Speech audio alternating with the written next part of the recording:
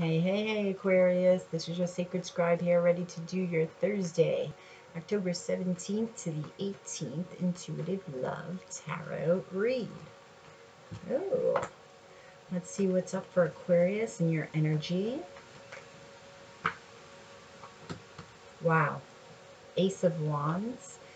Ace of Wands is fire energy, Aries, Leo, Sagittarius. Aces are all about new beginnings and this is a new passionate beginning in love, an adventure. Ten of Swords with that. Tens are also about endings and beginnings. And that's what I'm feeling you're doing. Ending something and beginning something new.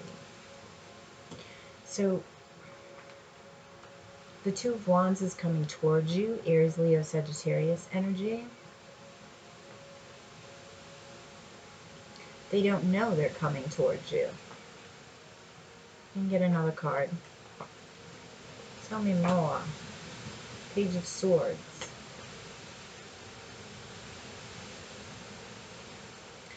Interesting. They don't know they're coming towards you, but they have a message for you.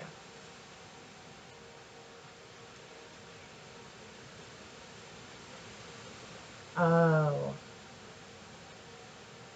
Okay, so when you meet this person, they'll have come to you for one thing, possibly to bring you a message with the Page of Swords here.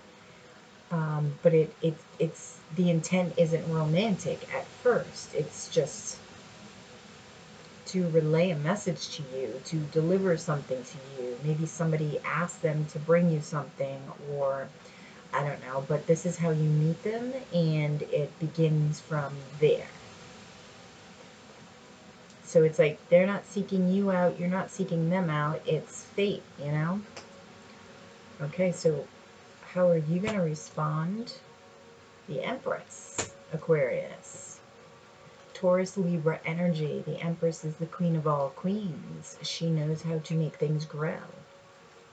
She knows how to nurture, to appreciate.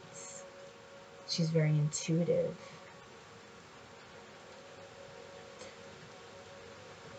You're going to like this person. They're going to bring out a very unique version of you that will even surprise you it's sort of this regal version, right? This empress. It's like the empress you did not know existed within. Whether or not you're male or female does not matter. How they change your energy when they walk into your life. The chariots. You become more balanced. This is a card of Cancer. I feel that your nurturing side emerges more, Aquarius. You're more in touch with this nurturing side the balance of the female masculine and feminine energy is stronger.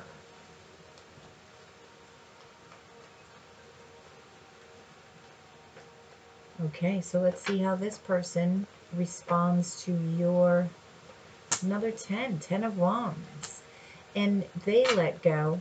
Oh, yep they let go of some burdens that they've had when they meet you because they know that they they do. Like they want to get this going. They want to see where this goes this relationship.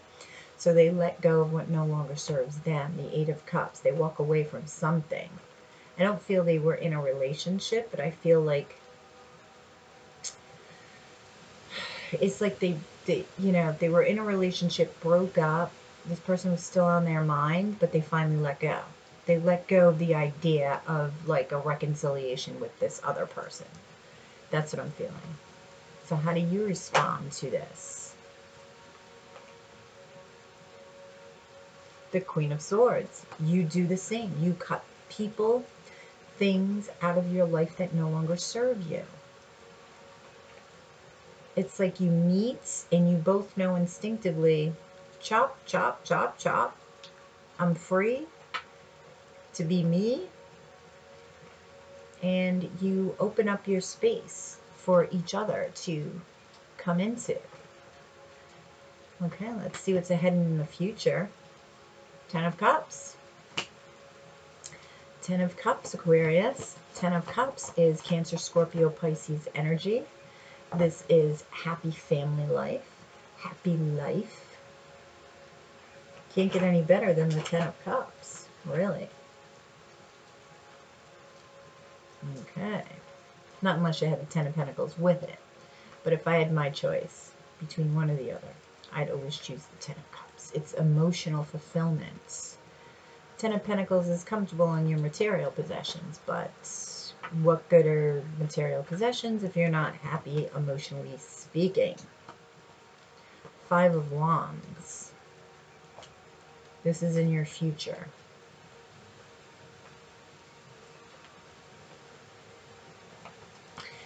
You guys let go in the Seven of Wands. See the Five of Wands and the Seven of Wands. You let go of the need to be defensive in relationship to love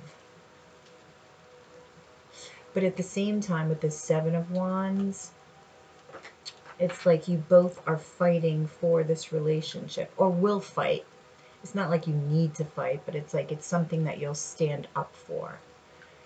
Knight of Cups. And with this relationship, you're going to keep things alive. Things are always going to be fresh. It's you both know that that's a necessity that a relationship needs work needs to be you know fresh all the time so you're always going to be inserting these new things these um, unique and creative things i'm seeing with this knight of cups very creative very nurturing and this will keep an energy within this relationship that's fresh that's youthful and that's fun